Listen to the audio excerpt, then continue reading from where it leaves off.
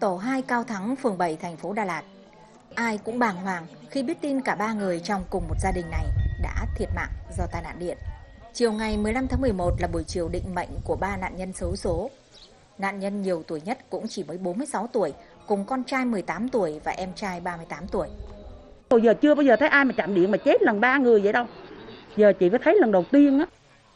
Nơi xảy ra vụ tai nạn là đoạn suối Cam Ly giữa phường 5 và phường 7 thành phố Đà Lạt. Khu vườn canh tác của ba nạn nhân nằm bên suối, những dấu tích còn lại. Tai nạn một lần nữa khiến nhiều người giật mình.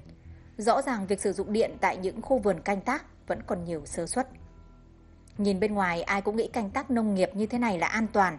Thế nhưng góc khuất đằng sau chính là đây. Những dây điện mắc nối khá tạm bợ và việc sử dụng điện thường xuyên ẩn chứa nhiều sơ suất. Tùy theo mỗi người người ta xử lý, những người mà họ kỹ thì họ làm nó đảm bảo an toàn hơn. Những người mà không kỹ thì nhiều khi họ chỉ sơ hở là họ chỉ cứ gắm vô có điện là được rồi, kiểu vậy đó. Khu vườn này sẽ chẳng bao giờ được đón chủ nhân trở lại. Sau tai nạn điện gây chết người, họ là những người đàn ông trụ cột của gia đình. Ai cũng tiếc nuối, giá như việc sử dụng điện cẩn thận hơn thì đã không xảy ra tai nạn đầy xót xa ập đến ba người trong cùng một gia đình.